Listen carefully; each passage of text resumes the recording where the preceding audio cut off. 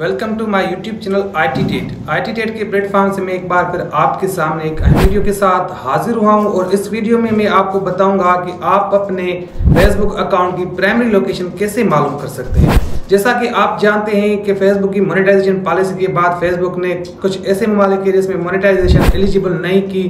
तो आपको कैसे पता होगा कि आपका पेज या आपका फेसबुक अकाउंट किस लोकेशन पर एक्टिव है। तो चलते हैं मोबाइल की स्क्रीन पर मैं स्टेप बाय स्टेप आपको सारी सेटिंग बताऊँगा। और आप हमारे इस वीडियो को लाजमी एंड तक देखें, क्योंकि अगर आप एंड तक नहीं देखेंगे तो आपको सेटिंग का कुछ पता नहीं चलेगा। और अगर आप हमारे यूट्यूब चैनल आई टी पर नए हैं तो हमारे चैनल को लाजमी सब्सक्राइब करें और हमारे फेसबुक पेज को भी फॉलो करें। तो चलते हैं मोबाइल की स्क्रीन पर। तो दोस्तों, सबसे पहले आपने फेसबुक की सेटिंग में जाना है। यहाँ ऊपर आपको राइट कॉर्नर पर एक सेटिंग का ऑप्शन मिलेगा, उस पर क्लिक कर लेना है। जैसे ही क्लिक करेंगे तो कुछ इस तरह का इंटरफेस आएगा। नीचे आना है आपको यहाँ।